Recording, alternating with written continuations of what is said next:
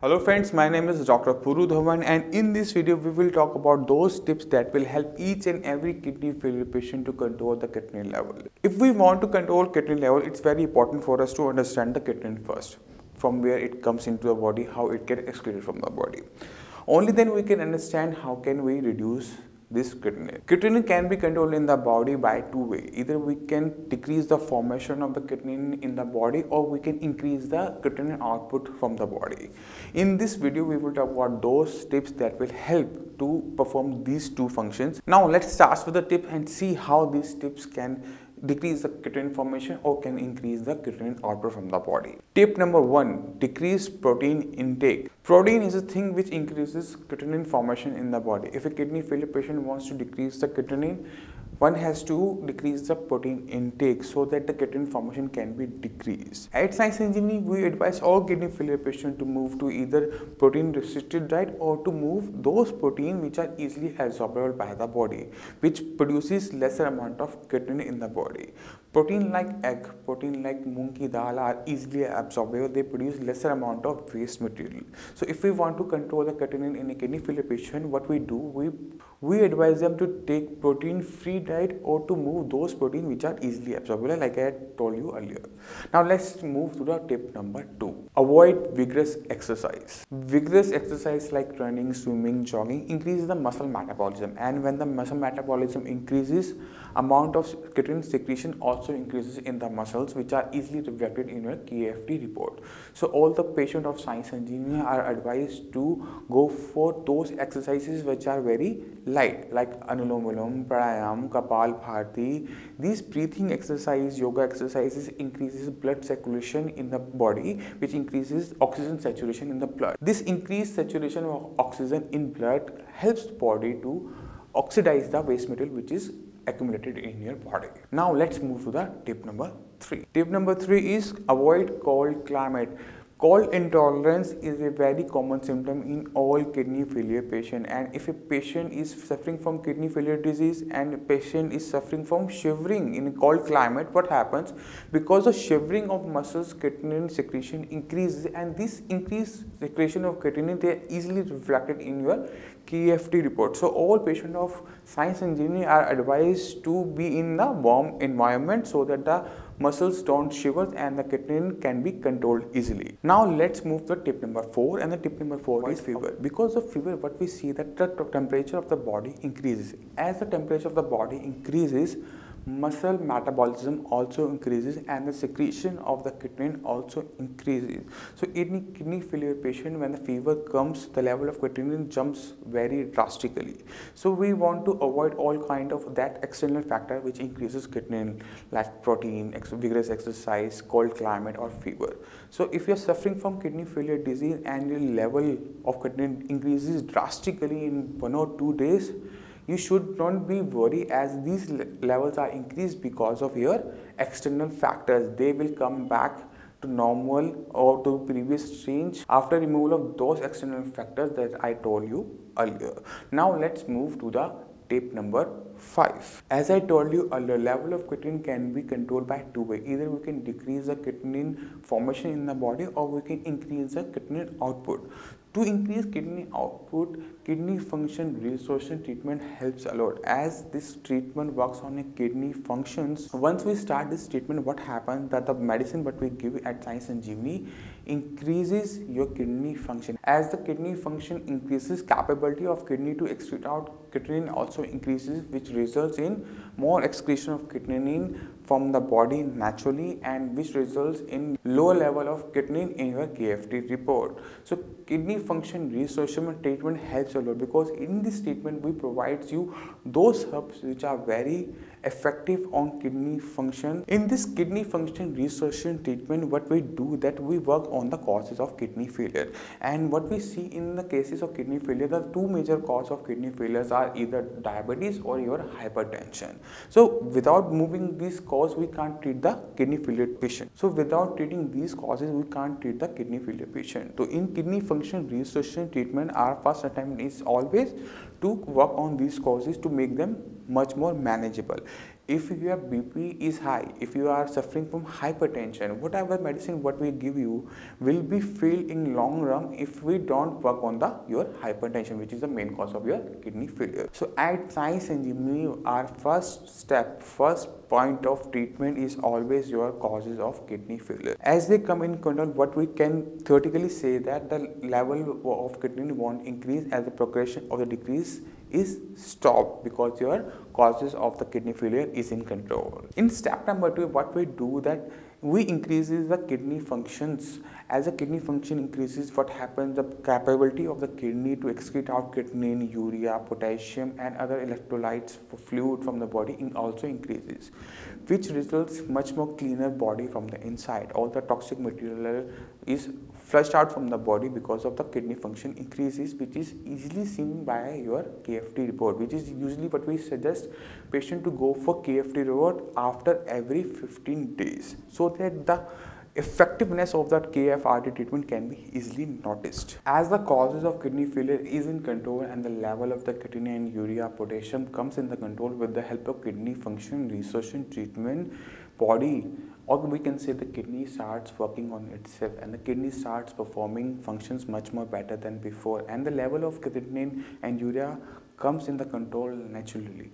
Urine output increases and all the symptoms which are coming because of the accumulation of waste material in the body like headache insomnia excess of sleep fatigue also comes in the control. Once your kidney starts performing filtration itself, there is no further need of any kind of dialysis or transplant. As your kidney is functioning is coming back level of creatinine and urea also decreasing well. As the level of creatinine and urea starts to coming to lower level that means the level of kidney function is increasing. This increase function of the kidney help us to avoid dialysis and kidney transplant as your kidney as your, your own natural dialysis machine is working well than before. And this performance increased performance of kidney not only helps patient to avoid dialysis or transplant it also helps patient to avoid all kind of complications which is usually caused by these two processes so we advise all our kidney failure patient to take care of their diet and medicine if they want to control their kidney level. With the help of diet and change of lifestyle we can control this creatinine and urea level very easily now let's move to the next step and that is causes of kidney failure if you don't know the cause of your kidney failure, it's very important for you to understand what are the causes of kidney failure in your case. Once you know that diabetes is the cause of kidney failure, your next step should be to make it in control with the help of medicine, change of lifestyle and diet. Because if your diabetes uncontrolled, that will definitely damage your kidney each and every second as the level of the sugar level increases in your blood. Same happens with the case of hypertension. If you are suffering from hypertension, your blood pressure is high.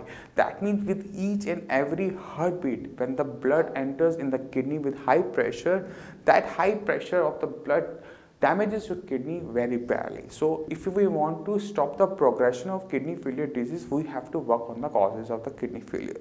So it's very important for all kidney failure patient to identify their cause of kidney failure because once the cause is in control, what we theoretically can say that the progression of the disease can be easily controlled. Now let's move the tip number 7 and tip number 7 is to monitor your BP and sugar level on the regular daily basis because what we see that once the level of BP comes in the control, once the level of sugar comes in the control, patient become negligent and this negligence costs patient a lot. So at Sai Sanjeevani we advise all kidney failure patient to monitor this BP, this sugar on a regular basis. Sometimes we suggest them to monitor this two things twice in a day so that these levels remain in control. Because if we don't do that and this negligence of not monitoring your bp and sugar on a regular basis may cause death to the patient may cause further damage to the kidney. So just to avoid this kind of further damage such kind of negligence should be fully avoided. Now let's move to the most important tip of this video and that is diet. With the help of diet we can control each and every element of your kidney function report. If we control the diet what happens that we can control each and every element coming in the body because if a patient is suffering from kidney failure disease body becomes some kind of closed container and whatever we feed the body finally get deposited in the body. So we want to control that thing with the help of diet. In kidney failure patient, we advise all kidney failure patient to go for protein free diet as a protein increases the creatinine and urea secretion in the body. If the patient is suffering from heavy protein loss and the patient is underweight, such protein free diet is not advised at Sai Sanjeevani. In such cases, we advise patient to go for such protein which is easily absorbable, easily assimilated in the body because that protein, that kind of protein produces nil amount of creatinine in the body. And that protein is either egg white double tone milk or we can say in case of vegetarian pulses especially the moong ki dal without polish and without covering can be given. Because this kind of protein this kind of easily absorbable protein produces almost nil amount of creatinine in the body. And if the kidney failure patient take protein from other sources like chicken, mutton, fish, cheese, curd, level of creatinine may increase drastically. So we have to avoid all these kind of protein which are hard to digest, hard to absorb, it takes lots of energy to get metabolized. We have to advise them to easily absorb a protein so that body can absorb that kind of protein with ease. With the help of diet, we can also control the level of potassium in the body as the potassium comes in the body with the fruits and vegetables and whatsoever diet we take to control that kind of potassium in the body we have to look for those things which are low in potassium. And if we go in vegetables to see what kind of vegetables are low in uh, potassium what we see that if the vegetable is grown below the surface of earth or the vegetable which are leafy has to be avoided as they contain high amount of potassium. Vegetable which are grown as a fruit on a plant or a creeper like brinjal, ladyfinger, tomatoes, bottle ground, round ground, bitter ground, pumpkin are low in potassium and these vegetables helps you to control your level of potassium. Similarly in case of fruits we have to avoid high potassium fruits especially banana, kiwi, avocado, dates, dry fruits because these contains high amount of potassium. Other fruits like citric fruit has to be avoided in a kidney failure patient because these citric fruits decreases the level of pH in the blood. As the level of pH of blood decreases, body may become acidosis. So to avoid that metabolic acidosis, we have to avoid these citric fruits. In a kidney failure patient, we advise patient to take other than these kind of fruits, like they can take muskmelon, watermelon, apple, pear, but the quantity, portion size is very important. All kidney failure patient at Sai Sanjeevani advised to take one cup of any fruit, like one cup of papaya, one cup of muskmelon, one cup of watermelon, one cup of strawberry. You can also replace them with the one apple, one guava, one chiku. But the portion size is very important in case of fruit. And the food is only advised when, when the patient is non-diabetic. If you are diabetic, if you are suffering from kidney failure, food has to be avoided until your level of sugar comes in the control. Now you know with the help of diet, with the help of change of lifestyle, and with the help of kidney function restoration treatment we can easily control the level of creatinine because in these tips what we have suggested you to either to control the level of creatine formation or to increase the kidney output so that the level of creatine can be easily controlled. These are the basics of controlling the level of creatine in the body. If you have some kind of questions, query, you can call on the number given below. You can visit me on my clinic with an appointment. You can also visit our website sainkidneycare.com for further information. With this, allow me to say goodbye. See you in the next video.